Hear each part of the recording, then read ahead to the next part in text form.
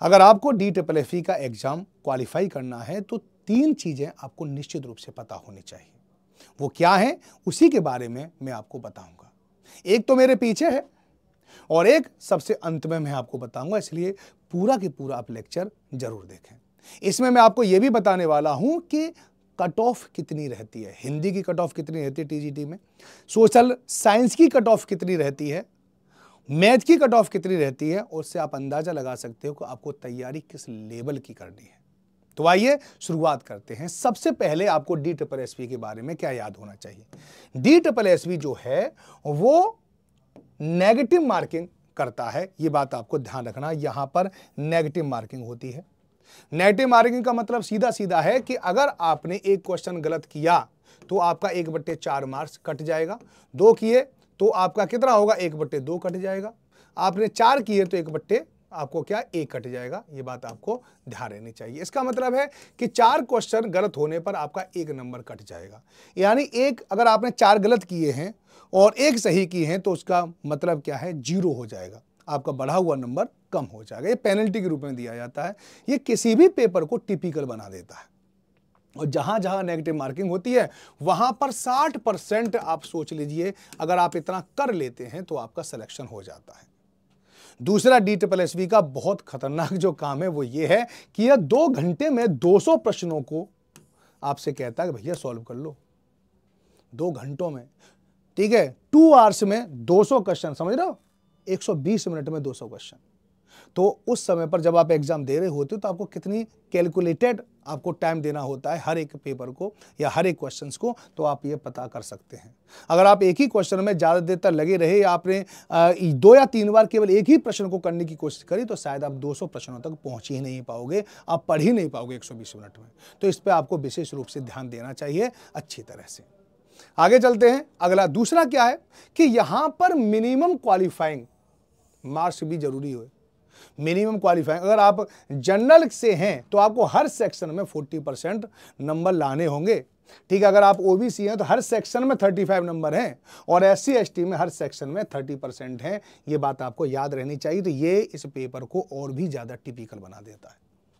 पहला, negative marking, और दूसरा, मिनिमम क्वालिफिकेशन। इसका मतलब है कि आप इस पेपर में कुछ भी नहीं छोड़ सकते हैं। आप ऐसा नहीं कि जनरल पेपर को थोड़ा सा कम ध्यान दें। नहीं, हर एक सेक्शन पर आपको विशेष रूप से ध्यान देना होगा। ये मिनिमम मार्क्स हैं। और वही दो घंटे के अंदर 120 मिनट में आपको डिसाइड करना पड़ेगा कौन कौन सा क्वेश्चन करना है। और फिर आपके पास एक और प्रेशर है नेगेटिव मार्किंग का। ये दो चीज़ है। तीसरी चीज़ जो आपको यह पता होनी चाहिए कि कट ऑफ़ कितनी रहती है। कट ऑफ़ तो कट ऑफ़ देख लो। मैथ फीमेल में देखो कट ऑफ़ कितनी है? 120 यानी 50 प्रतिशत के आसपास यहाँ पे कट ऑफ़ रही थी 50 परसेंट। समझ रहेगा नहीं?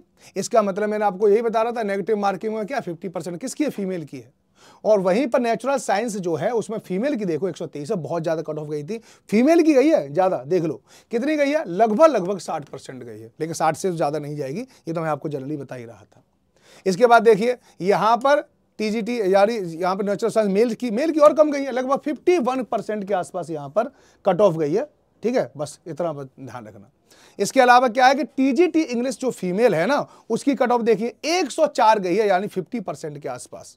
अगर आप ओबी से है, से हैं, अगर आप एससी और एसटी से हैं तो फिर तो आपके और भी बल्ले बल्ले हो सकती है, क्योंकि एसटी में देखो 62 के आसपास गई है, बस 200 में से 62 है ना? अगर आप इंग्लिश मेल यानी अब आप कहोगे, सर, इसकी किसी की ज़्यादा, किसी की कम क्यों हो गई वो इसलिए क्योंकि कहाँ पर वैकेंसी ज़्यादा थी, कभी कम थी, उसके, उसका भी इम्पैक्ट पड़ता है, ये भी आप ध्यान रखना। लेकिन फिर भी मैं आपको एक मोटा मोटा अनुमान दे रहा हूँ कि अगर आपने सिक्सटी पेपर कर दिया तो फिर समझ लो कि डी ट्रिपल एस में अगले शिक्षक आप ही बनोगे। सीधी बात है। यहाँ पे देखो मेल की इक्यासी है।